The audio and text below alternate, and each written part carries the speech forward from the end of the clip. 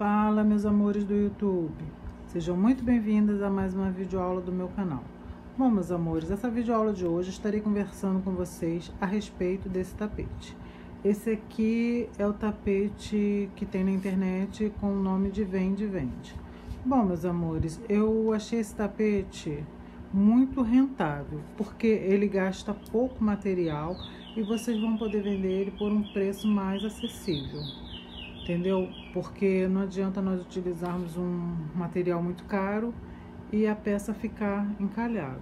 Ou então vender por um preço, ou então ter que vender por um preço alto e nem sempre as pessoas estão com dinheiro para poder pagar uma peça muito cara.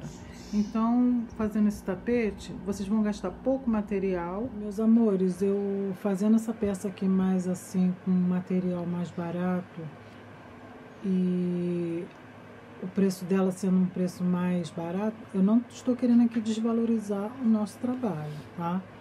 Porque só estou falando para vocês que nessa peça foi gasto pouco material, pouco barbante, tá? E o não precisa vendê-la tão cara.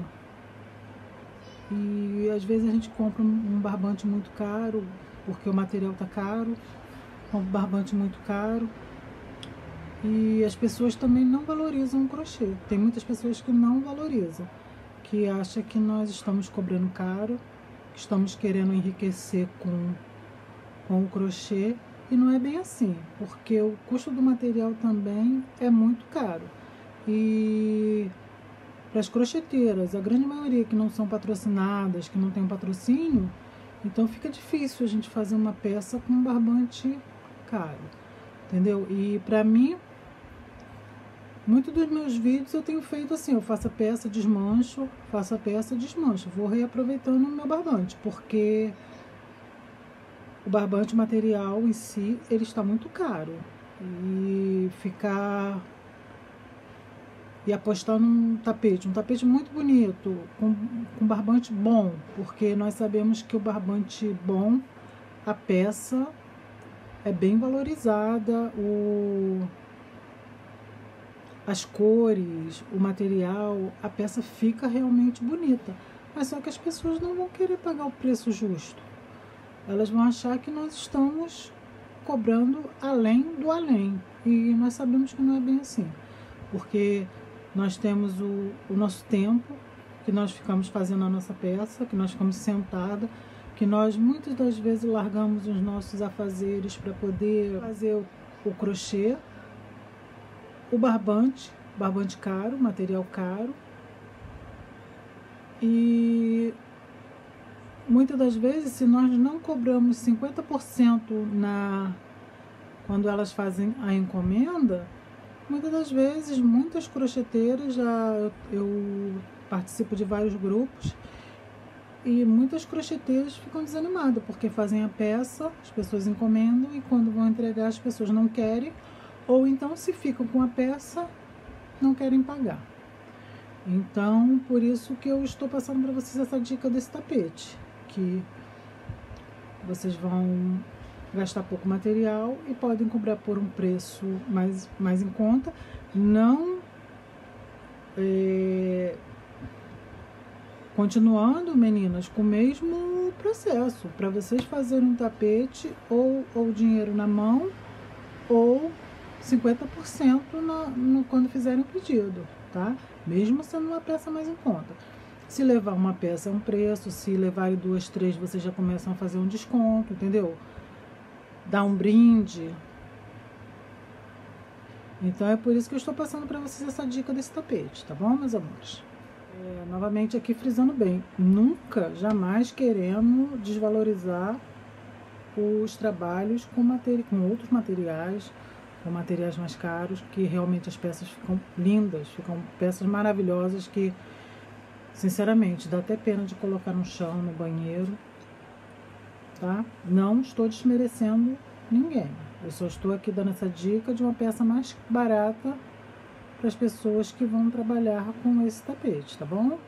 Então, fazendo esse tapete, vocês vão gastar pouco material e vão poder vender por um preço mais barato. Não que nós estejamos desvalorizando o nosso trabalho, mas que a quantidade de material é tão pouca que dá para vender por um preço mais em conta. Então, eu já fiz o vídeo dessa aula aqui, desse tapete aqui de duas cores, com esse barradinho aqui bem simples, mas estarei vindo com outro barrado. E eu estarei fazendo, agora para os próximos dias, estarei colocando o vídeo da passadeira, tá? Passadeira também um tamanho bom e gasta pouco material. Então, vocês podem vender. Então, vocês podem fazer duas peças, a passadeira e um tapete, ou a passadeira e dois tapetes. Ou então vocês podem fazer também três tapetes, do pequeno, tá? Ou podem também fazer peças separadas, aí vai, fazer, aí vai ficar a critério de vocês. Aqui é apenas uma sugestão, tá bom? Então eu fiz essa peça aqui, eu gastei 220 gramas para poder fazer esse, esse tapete aqui, o pequeno, tá? E Aqui o preço aqui do rolo de barbante aqui está 13 reais e com um rolo pequeno eu consegui fazer dois tapetes desse aqui. Então vocês podem observar que gasta pouco material. Fica uma peça muito bonita, tá? E o custo-benefício é muito bom, tá bom, meus amores? Então hoje eu está Hoje eu estou conversando com vocês a respeito desse tapete aqui. Vocês podem fazer ele em duas cores, como eu fiz aqui. Podem fazer de uma cor só, podem fazer com sobras de linha, sobra do material que vocês já têm em casa. E, então, meus amores, essa peça aqui vocês podem utilizar como jogo de banheiro. Vocês podem fazer dois tapetinhos e colocar no banheiro. Vocês podem utilizar também para colocar no quarto. E como jogo de cozinha também, tá? Eu, eu fiz aqui a passadeira, estarei colocando o vídeo já na internet. O, o tapetinho já fiz o vídeo, está no YouTube também, tá? Vocês podem dar uma passadinha lá e ver o vídeo desse tapetinho. E em breve eu estarei colocando o vídeo da passadeira. Eu fiz, desmanchei, fiz, desmanchei até chegar... Eu fiz, desmanchei, fiz, desmanchei até conseguir finalizar a minha passadeira. Depois de muito quebrar-cabeça, eu consegui finalizar ela, tá? E estarei colocando o vídeo para vocês o mais rápido possível. Então, meus amores, eu resolvi fazer esse jogo, tá? Eu aqui eu, eu fiz o jogo que eu fiz, eu fiz dois, dois tapetinhos e uma passadeira. Mas aí vocês vão escolher o melhor meio para vocês venderem a peça de vocês, tá? Vocês podem também colocar na cozinha como um jogo de cozinha com duas peças pequenas e uma grande, tá? É um tanto o tapete como a passadeira são peças rápidas de ser feita, gastando pouco material, porque a nossa intenção é essa. E mesmo gastando pouco material, meus amores, não fica uma peça mal feita, tá? Vocês podem observar que fica uma peça bem feita, bem acabada, tá? Bom, meus amores, a passadeira, ela não tem um tamanho convencional, tá? Ela é um pouco menor.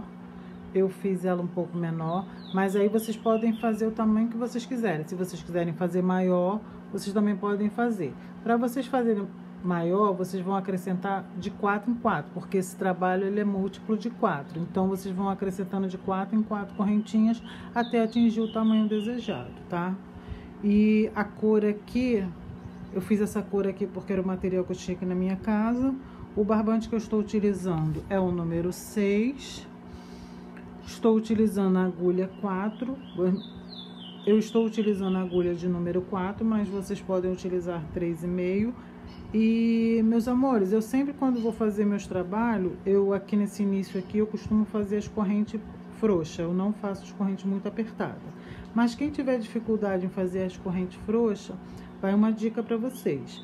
Vocês, se vocês vão trabalhar com a agulha número 4, façam as correntinhas aqui, ó, com agulha 4,5.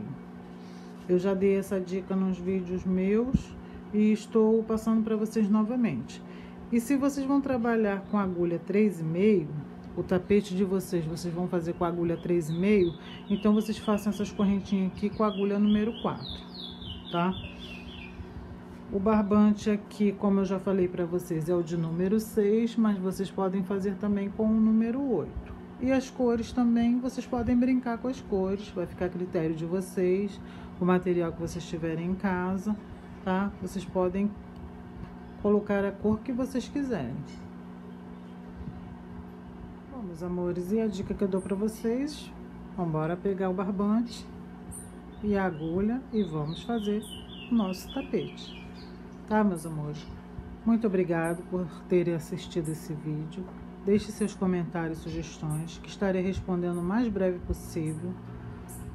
Se inscreva no meu canal, para você que não é inscrito. E para vocês que já são inscritos no meu canal, meu muito obrigado, tá?